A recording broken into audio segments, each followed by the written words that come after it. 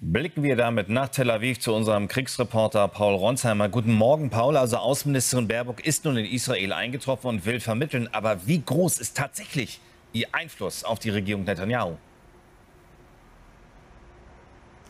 Also wenn Annalena Baerbock wirklich glaubt, dass sie verhindern kann, dass es noch zum Gegenschlag kommt, also dass sie verhindern kann, dass Israel den Iran angreift, ich glaube, dann hat sie sich zu viel vorgenommen, denn ich habe auch gestern Nacht noch einmal von meinen Kontakten gehört, dass es entschieden sei.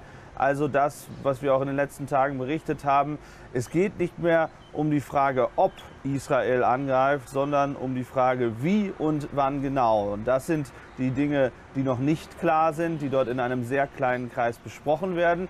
Möglicherweise versucht Baerbock auf diese Zielführung in irgendeiner Weise Einfluss zu nehmen, also darüber zu diskutieren, was dann nach einem solchen Schlag passieren könnte, nach einer, einem solchen Gegenschlag äh, Israels, dass sie tatsächlich bei einem Termin heute zum Beispiel mit Benjamin Netanyahu, dem Ministerpräsidenten, davon abhalten könnte. Das kann ich mir nicht vorstellen. Das haben auch andere Politiker in den vergangenen Tagen versucht. Das hat Joe Biden, der US-Präsident, versucht. Und ich nehme mal an, wenn Joe Biden das nicht schafft, dann wird es auch Annalena Baerbock äh, kaum schaffen. Und diejenigen, die für diesen Schlag argumentieren, mit denen ich gestern Abend noch einmal gesprochen habe darüber, sie argumentieren und sagen, wir müssen antworten, wir müssen jetzt Stärke zeigen.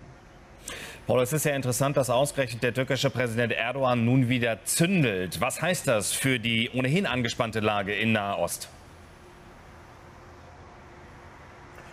Ja, dass sich Erdogan äußert, wie er sich äußert, nämlich dass er in Israel angreift, das ist hier für niemanden eine Überraschung mehr, denn wir erinnern uns an den 7. Oktober nach diesem grausamen Hamas-Attacke, nach diesem Attentaten, nach diesem Massaker äh, der Hamas-Terroristen mit 1200 ähm, israelischen Toten, mit ähm, Entführungen, mit Vergewaltigungen. Selbst dann noch hat Erdogan die Hamas verteidigt und ähm, dass er jetzt auch wieder in dieser Lage Israel angreift und in Israel ähm, hier die Politiker als Schuldige ausmacht, da hört zumindest hier in Tel Aviv und Jerusalem kaum noch jemand hin.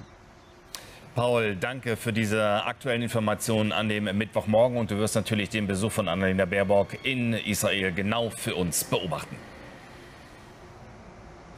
Noch mehr News, die gibt es bei unserem Nachrichtensender Welt. Einfach den Sendersuchlauf bei eurem Fernseher starten. Die Anleitung dazu, die findet ihr hier. Und wenn ihr spannende Dokus sehen wollt, packende Reportagen, dann müsst ihr einmal hier klicken.